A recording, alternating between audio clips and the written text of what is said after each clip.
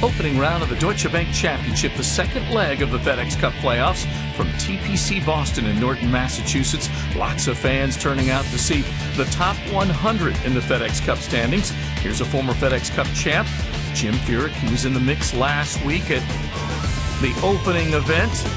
This a hole out from off the green at the par 4 14th. That's a big hole, and Furyk able to pitch it in for a nice birdie. He would work it back to a 72. Ian Poulter one under as he comes to the eighth. This is a big par three, 213 yards. He was just to the front of the green, but then makes that putt from that lower tier. And Ian Poulter opens the week with a four under 67. 2,500 FedEx Cup points to the winner. They can make a big step forward in the standings.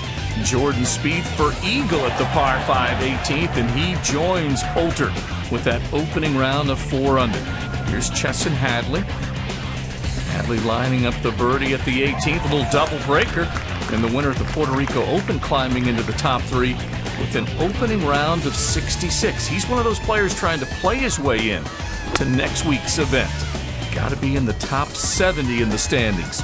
Webb Simpson knows all about it. He won this Deutsche Bank Championship a few years back and pulls it in tight at the 18th. Simpson, a five under start. Jason Day, also quickly moving into contention as he cards a round of 66. Coming in from the right side to this front right pin at the ninth. Jason Day would have four birdies coming in. Keegan Bradley lining up this left to right putt, pours it in at the 17th, and he has plenty of fans rooting him on. Bradley to seven under. Ryan Palmer late in the day, picking up birdie at five. Palmer, starting on the back nine, was on a tear early and then comes in with three closing birdies after going out in 30. Nine birdies in all. He's at 8 under and leading by two. Join us for the second round. Live ad coverage beginning at 8 a.m. on PGAtour.com, SiriusXM PGA Tour Radio at 1 p.m. Eastern. Golf Channel picks up coverage at 3 p.m. Eastern.